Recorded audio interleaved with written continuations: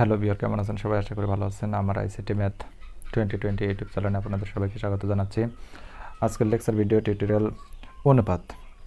এই সকল অঙ্কগুলো বিভিন্ন চাকরির পরীক্ষায় এসে থাকে, বিশেষ করে নিবন্ধন প্রাইমারি বিসিএস এখানে প্রশ্নটা দেওয়া আছে, ক ইস টু খ equal to three is to four খ ইস টু গ equal to four is to five এবং গ ইস টু ঘ equal to one is to seven হলে ক ইস টু খ ক ইস টু গ ইস ঘ ইকাল টু কত?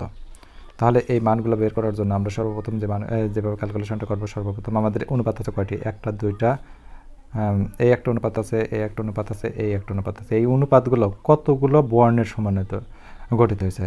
ক একটা, খ একটা, দুইটা, তিনটা, চারটা চারটা বর্ণের সমন্বিত রয়েছে। তাহলে চারটা বর্ণকে আমরা অনুপাত রূপে প্রকাশ করে নেব আগে।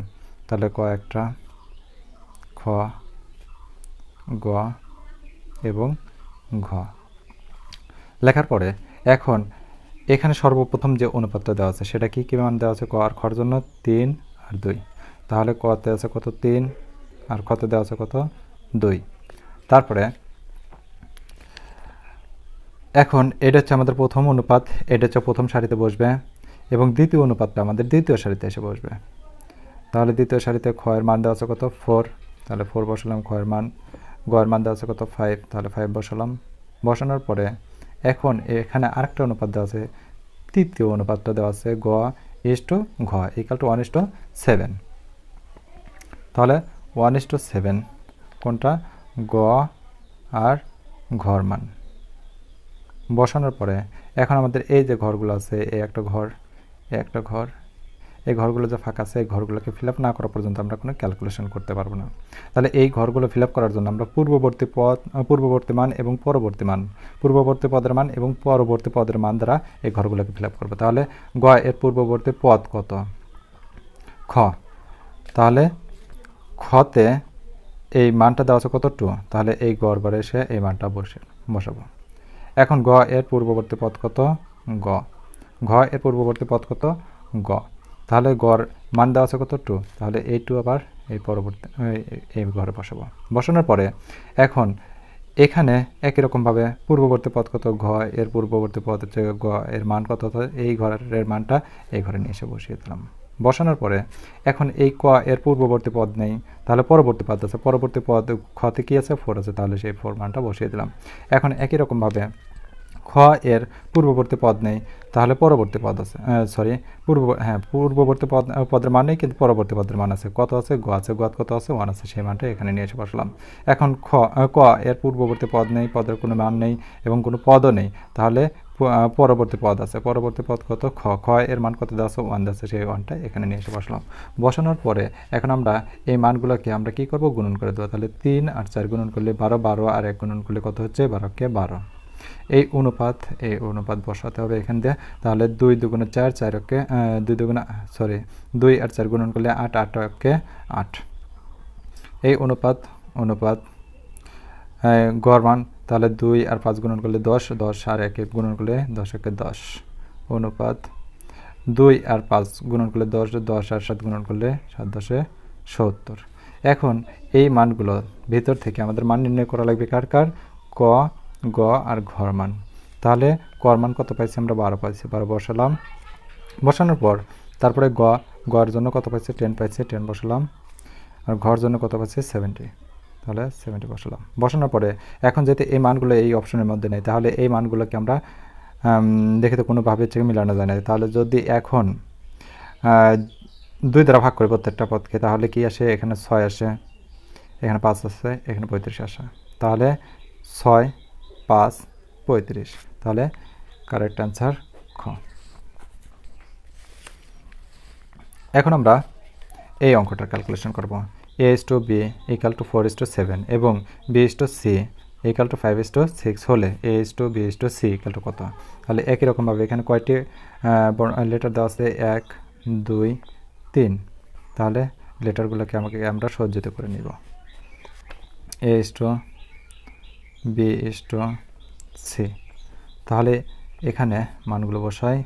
ফোর, সেভেন, তারপরে এই অনুপাতে দেওয়া আছে কত? ফাইভ, বির জন্য ফাইভ, সির জন্য সিক্স। বসানোর পরে এখন পূর্ববর্তী, সি এর পূর্ববর্তী পূর্ববর্তী পদ কত? বি, তাহলে বির মান কত আছে? সেভেন তাহলে এই ঘর বসা, মানটা বসাতে হবে।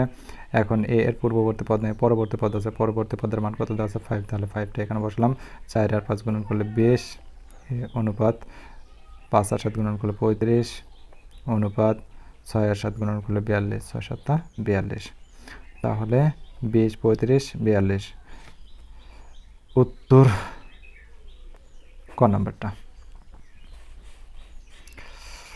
এখানে A is to B equal to three is to four B is to C equal to six is to five হলে এ সি এর মান কত? তাহলে A is to B is to C is to B is to C three four আর এই মানটা এখানে এখানে বসাবো। সিক্স ফাইভ পরবর্তী মান কত? পূর্ববর্তী মান ফোর আর পরবর্তী মান কত? সিক্স তিন, ছয়, আঠারো।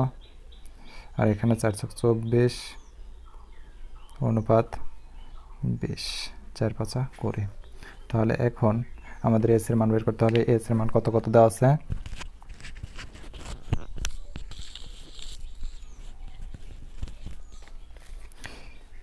আঠারো। অনুপাত সির মান বিশ। তাহলে দুই দ্বারা যদি ভাগ করে দেয়, তাহলে নয় ইষ্ট দশ। তাহলে অ্যান্সার অপশনের কারেক্ট খ নাম্বারটা কারেক্ট অপশন খ নাম্বার এখানে বলছে এত ইষ্ট এত এবং এত ইষ্ট এত। এর মিশ্র অনুপাত কত?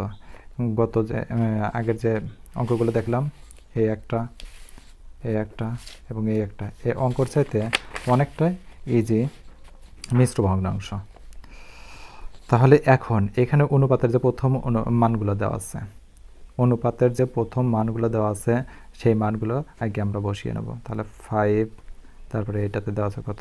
সেভেন এখানে দেওয়া আছে কত? থ্রি দেওয়ার পর ব্র্যাকেটে রাখব অনুপাত অনুপাত।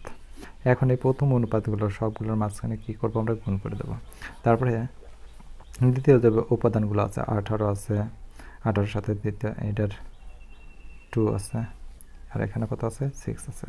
তাহলে এই অনুপাতগুলোর মানগুলোকে আমরা কী করে দেবো? গুণ করে দেবো। গুণন করে দেওয়ার সাথে সাথে পাঁচ আর সাত গুণন করলে পঁয়ত্রিশ পঁয়ত্রিশ আর তিন গুণন করলে একশত পাঁচ। এই অনুপাত অনুপাত। আঠারো দুগুণে ছত্রিশ ছত্রিশ আর ছয় গুণন করলে দুইশত ষোলো। এই ক্যালটু এটাকে এক দ্বারা ভাগ করলে এই মানে থাকতেছে। যদি দুই দ্বারা ভাগ করি তাহলে ভগ্নাংশ আসতেছে। আর ভগ্নাংশ যদি মান আসে তাহলে সেই ক্ষেত্রে ওই মানগুলো আমরা কাউন্ট করব না। তাহলে এখন এখান থেকে এখান থেকে সেই সকল মানগুলো আমরা কাউন্ট করব, যে সকল মানগুলো পূর্ণ সংখ্যার হবে। তাহলে এখানে এইটাকে দুই দ্বারা ভাগ করলে ভগ্নাংশ আসে, যদি তিন দ্বারা ভাগ করি তাহলে পঁয়ত্রিশ। তিন পঁয়ত্রিশে একশো পাঁচ, অনুপাত। তাহলে এটাকে তিন দ্বারা যদি ভাগ করা যায়, তাহলে আসতেছে কত? আমাদের বাহাত্তর। তিন বাহাত্তরে দুইশো ষোলো। তাহলে সঠিক উত্তর পঁয়ত্রিশ বাহাত্তর, গ নাম্বারটা। আজকের লেকচার ভিডিও এতটুকুনি। আশা করি বুঝতে পারছেন। আর যদি বুঝে থাকেন, তাহলে অবশ্যই অবশ্যই ভিডিওতে একটি লাইক দেবেন কমেন্টের মাধ্যমে জানাবেন ভিডিওটি কেমন লাগছে। আল্লাহ হাফেজ।